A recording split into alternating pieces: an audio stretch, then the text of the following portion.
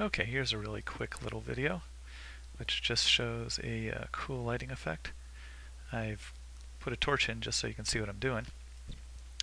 And let's knock the torch out. And then, cool huh? So the lighting is super limited and you see it only on that step. And here's the final stairway with these uh, little light blocks every two, every two spots.